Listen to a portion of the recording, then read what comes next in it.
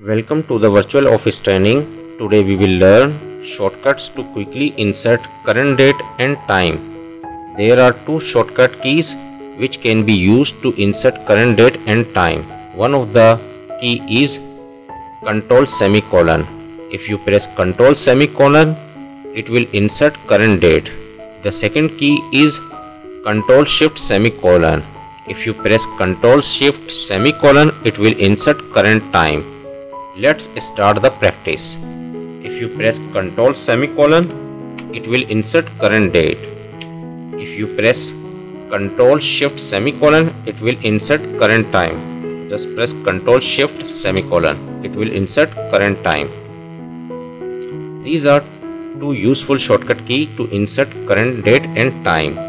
Hope this tip will be very helpful for you. Thanks for watching.